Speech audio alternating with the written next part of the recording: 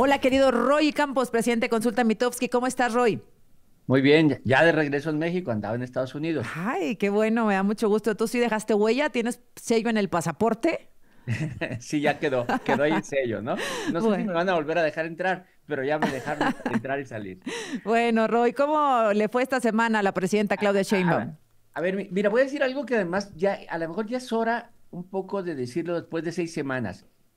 Ya sabemos y sabíamos desde antes, Claudia no es López Obrador, pero en muchos sentidos, Claudia no maneja su aprobación y su comunicación muy distinta a López, Obrador. Se le acabó el discurso del héroe villano, de echarle la culpa al anterior, porque el anterior es López Obrador.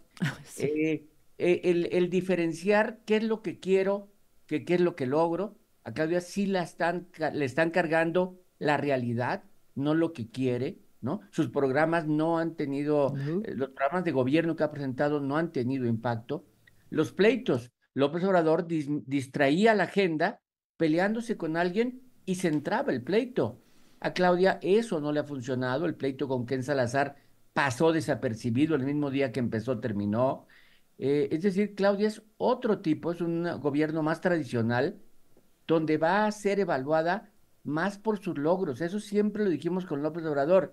La gente decía que todo estaba mal, pero él estaba bien. Con Claudia va a ser distinto. Ay, como debe ser, ¿no? Pues como debe ser. Como debe ser y como es tradicional y siempre. Entonces, y ella, por ejemplo, su luna de miel prácticamente le duró tres semanas. ¿Ah, sí? La luna de miel, se la tumbó la luna de miel, la inseguridad que estaba en todos lados.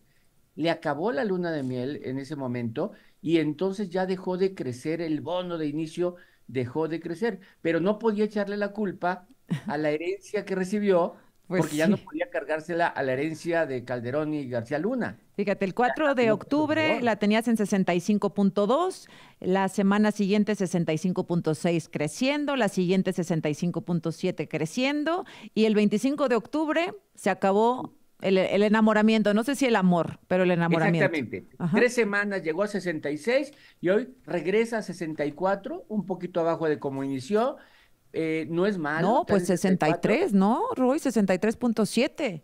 63.7, ¿no? Lo cerré a 64, pero 63.7, abajo del 64.1 con el que inicia, ¿no? Entonces son unas décimas, pero, pero es, dejó de crecer, porque al inicio pues vas creciendo porque vas presentando programas de gobierno.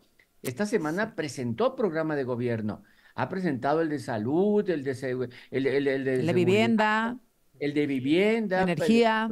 energía, y no ha funcionado. No ha funcionado, ¿por qué? Porque la realidad con la inseguridad es más fuerte. No sé, Roy. Políticos. Sí, sí, sí, sí, tiene razón. Sí tiene razón respecto a la inseguridad, es tremendo, pero Ahí en Morena las cosas están bien difíciles. ¿eh? Yo siento que no han respetado los morenistas el protagonismo que la presidenta merecía o necesitaba o lo que sea al arrancar su sexenio. A eso me refiero. En la época de López Obrador, la gente estaba en la mañanera. Él era y, hay de aquel que se atreviera a dar una declaración y, tapara o eclipsara su presencia. Ahorita les vale. Así es. Hoy, hoy la agenda está en las cámaras, en, en, otros lados. Un, error, ¿no? Cambió todo. Bueno, se hizo más tradicional. O sea, es, así es como es en todo el mundo. ¿no? Los secretarios existen, los diputados existen. Con López Obrador no existían. Sí, pero no haciéndote una guerra. Más bien, más bien siendo también, eh, no voceros, sino compartiendo, hoy en energía, fíjate que estamos presentando esto, en salud vamos por aquello, eh, en Pemex vamos a tratar de rescatar tal cosa. Ah, no, estos andan en sus broncas con los ministros, cumpliéndole la venganza a López Obrador, y Claudia Sheinbaum, pues ahí bajito, bajito, bajito, pues casi ni se ve, ¿no?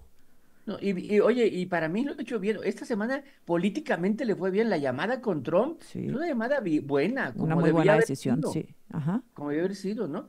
Pero, pero políticamente no le, no le repercute en la parte de opinión por la inseguridad y tal vez por el descontrol en Morena. Yo no sé si ella lo permite o así es nada más, pero el caso es que ya no está centrado en ella y en la mañanera, no está centrada la agenda de Morena. Bueno, pues vamos a ver, ¿cuándo se cumplen los 100 días, Roy? El, el 10 de enero aproximadamente. El, 10, 9, 10, de enero. 9, 10 de enero. Bueno, pues te, todavía le quedan unos días a este, a este año donde continúa esto que decíamos, pues el beneficio de la duda. ¿Qué más, verdad? Y ¿Sí? vamos, vamos viendo. Gracias, querido Roy. Muchos besos. Bye. Bye. Daniel Jasso, ya terminó la conferencia. ¿Qué puedes eh, resaltar? Buenos días.